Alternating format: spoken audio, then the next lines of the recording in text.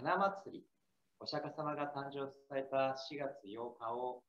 えー、お祭りするということで、日本ですと、あの、稚語行列、小さいお子さんがこういろいろな、こう、いわゆる、あの可愛い加工されて行列を組んで、白い、今、こちらにもあるんですけども、像ですね、を、その、みこしのように担いでというか、こう運びながら、あの、街を練り歩くことも見たことがあります。花火のお釈迦様の生まれた時の姿を、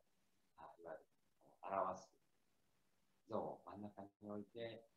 で、花火のをいろいろなお花を備えして、作ってですね、でこの日を待つ。天上天下唯我。この世界の中で、私というものほど尊いもの。解釈はもちろんいろいろと当然あるんですけれども、私たちがよくお話をするときに、この自分という命、変わるものは、これほど尊いもの。あの、お釈迦様は人間でした。あの、基本神様ではなくて人間としてこのように生を受けられて、人間として修行をされ、人のための道を説いてください。あの、とても革新的な教えを、あの、当時としてはで、あの、説いてくださって、で、あの、仏教というのはですね、やはり年をこう重ねていく、人生経験を積んでいけばいくほど、あ、そうか、世の中とはこういうものなのかという自分自身の経験と重なって仏教の重みが増していく。よくそういうことが言われます。し、私自身も、まあ、まだまだなんですけども、仏教の深さというのを自分の辛い経験、幸せな経験、様々なものとこう織り交ぜていって、重みが増していく。というシッタールタという名前が、そのお釈迦様のお父さんである、出頭だなが名付けられたと言われていますけれども、あの目的を遂げるものということで、あの俗名でつける名前ですで、この目的を遂げるというふうに、私もまさにその通りの人生をお釈迦様も歩まれたなと思うんですけども、えー、自分が目的とする人としての命を受けて、で、自らの目的を全うという点では、その王様が付けられたお名前の通りでおられた方だなと思うことがあります。人生の目的というところで、あのよくあの有名なチベット仏教のダライ・ラマ法王が私たちの人生の目的は何かと問われたらば、幸せになること。幸せになることで言われたのが印象に残ります。で、この幸せになるとはどういうことだろう深く突き詰めていったときに、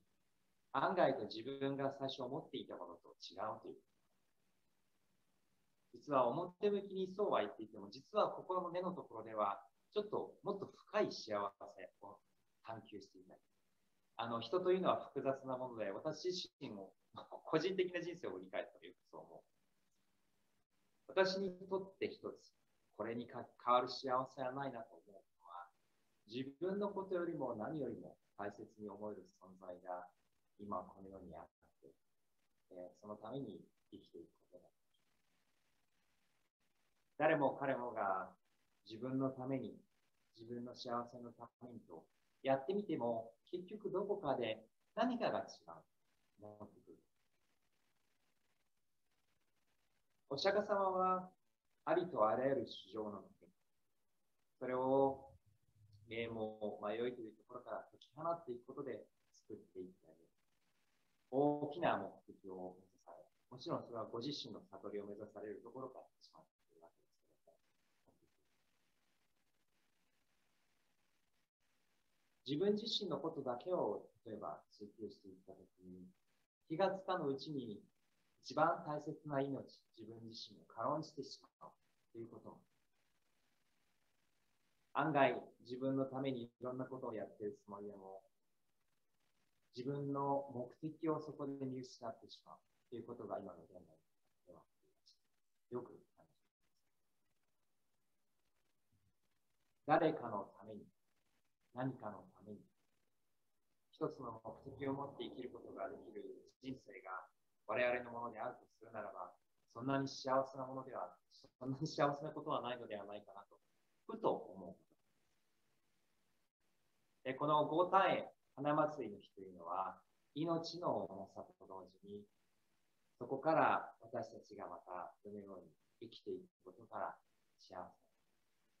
あの、ロングビーチ仏教会を築かれた方々、私たちのお父さん、お母さんもそうですけど、私自身ももちろんそうなんですが、自分たちの子供がより幸せな人生を送れるように、幸せな生活を送って過ごせるようにということを考え、日本を離れ、アメリカの地に渡っていた方たちが多いのではないか。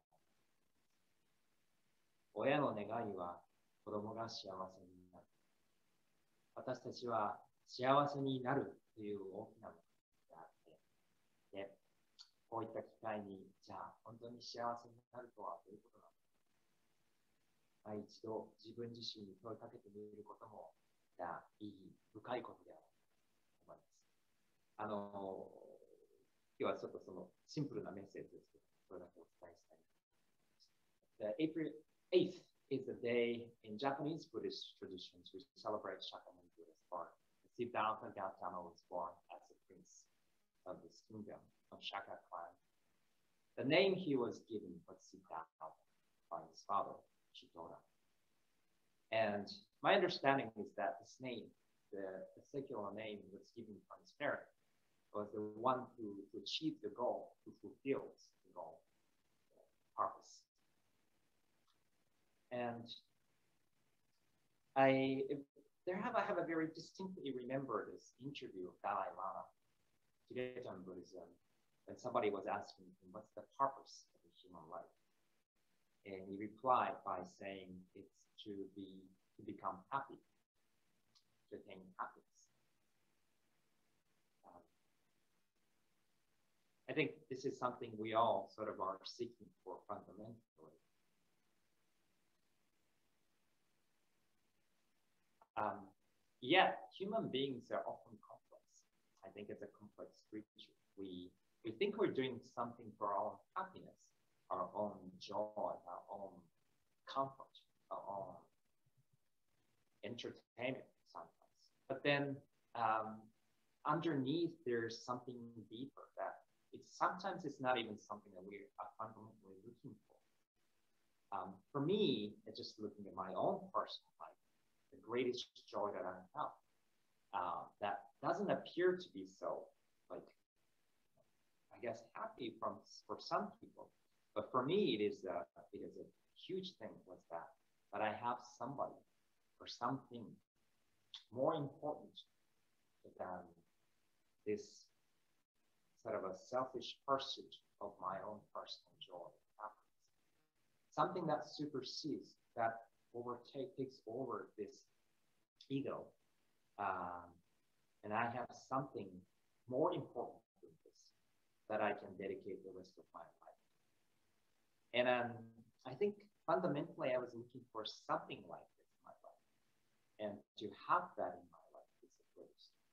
happiness that I, I have to sort of come back and recognize sometimes. Because my ego sometimes creeps in. You know. For Shakyamuni Buddha, it was for him to achieve enlightenment. And then from there, he extended his compassion to save all sentient beings by means of freeing them from delusive delusions thoughts. Um, by that, in that sense, he left a huge, he changed the course of humanity. Uh, without exaggeration, it has really altered the path.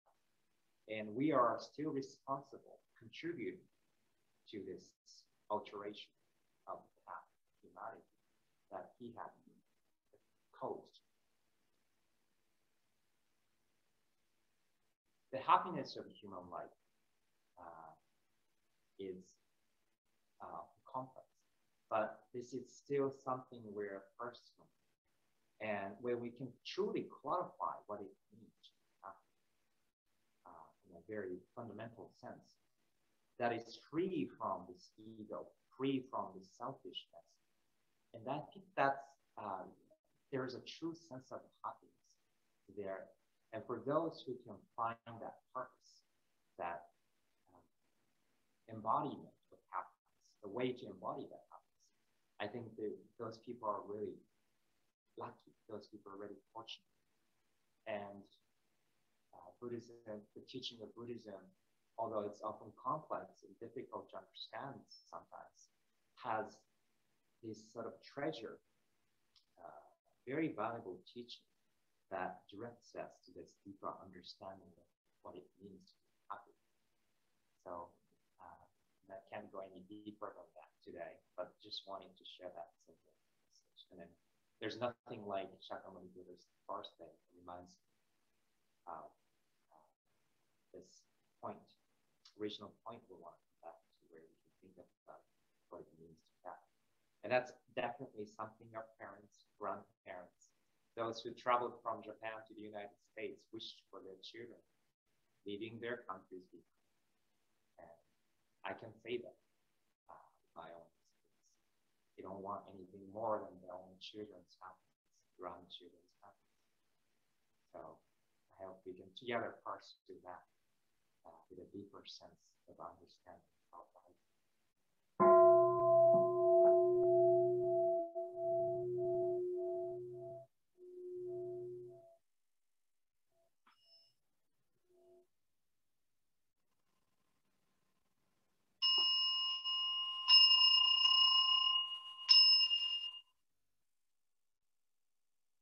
With one finger pointing to the sky, another to the heart, taking seven steps forward, declaring one's knowledge. Behind the crimson, crimson sky, pouring the sweet rain, flowers bloom fully in all colors. I now bathe all the violets. May all who adorn them with the merit of pure wisdom now free themselves from the world stained with five and embody the pure Dharma body of enlightenment. 계수다이쇼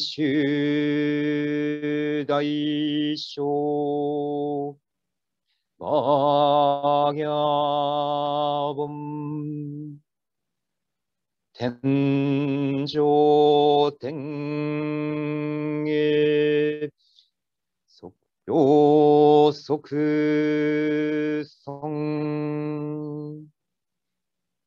がとこんいくどくすい。関目如来情報心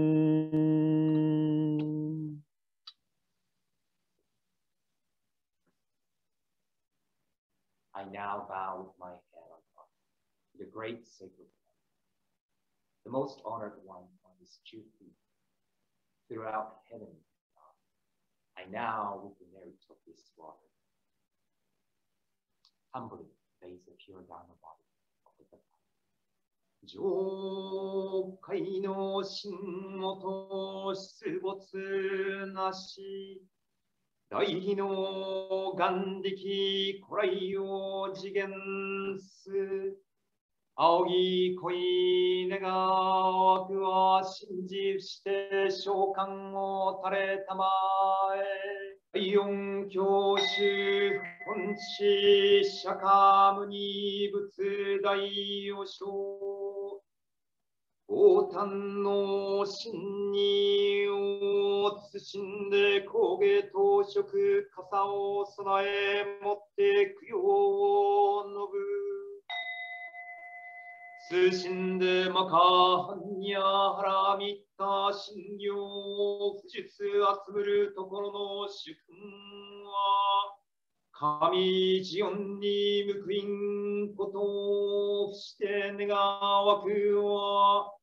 弱小遠妙にして死守原光の妙徳を称し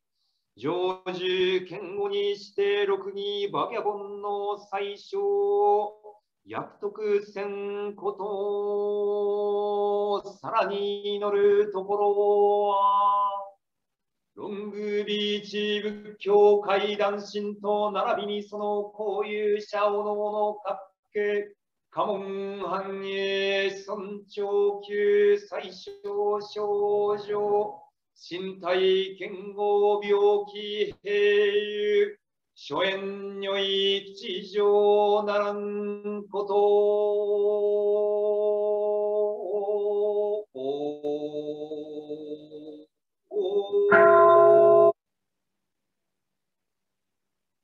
Embodying the pure Dharma realm from the beginningless time, the power of the vows of great compassion manifest the past and the future.